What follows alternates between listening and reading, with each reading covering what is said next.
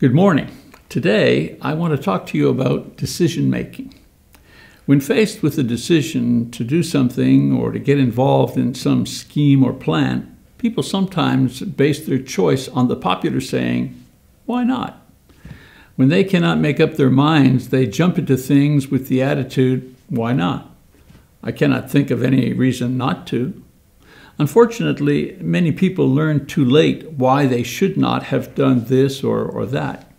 The example that comes to mind is that of a young teenage girl. Her name was Tia, a schoolmate of our youngest daughter, who was talked into exploring an abandoned power plant several years ago. Some older teens had talked her into going there at night as uh, an adventure. Why not? she must have said as she left with the older group. Unfortunately, several hours later, she fell to her death through a hole in the floor that she did not see as her friends explored this dangerous and condemned building. This poor child made a critical decision that cost her her life, but no one managed to tell her in time the why not that might have saved her.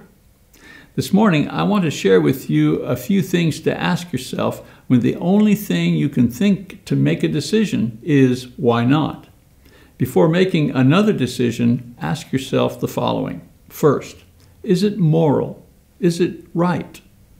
Many times, the reason we should not do something is because it simply is not the right thing to do. Unfortunately, our society is pretty confused about right and wrong because it no longer uses a common standard to judge these things. Society now depends on the justice system or polls to determine what is right and these are manipulated by those who have influence and a strong agenda. As Christians, however, we have the Bible that guides our decisions regarding right and wrong. For us, the fact that the Bible does or does not permit certain things is the response to why I should or why I should not do something. Sometimes we need to say, I will not do that because the Bible says not to do that. Number two, ask yourself, is it dangerous? Sometimes the things we have to decide are not moral in nature.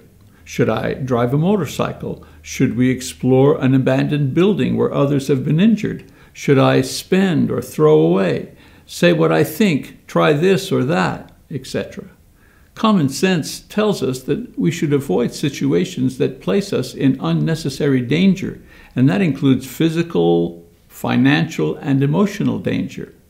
It's okay to say no to something because it's dangerous. Better a live dog than a dead lion, Solomon says in Ecclesiastes chapter 9 verse 4.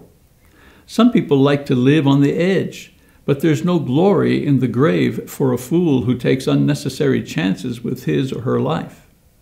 Finally, ask yourself, is this different?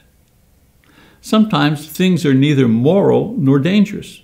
They are just different music, art, style, speech, ways of doing things, attitudes. Most arguments, most divisions in families, businesses, churches are over different ways of looking or doing things. We would create a lot less hostility, hurt, and division if we accepted the differences between ourselves and others. Note what Paul says in Galatians chapter 3 verse 28. There is neither Jew nor Greek, there is neither slave nor free man. There is neither male nor female, for you are all one in Christ Jesus. Here, Paul says that all of our differences are secondary to our similarity, and that is that we are all Christians.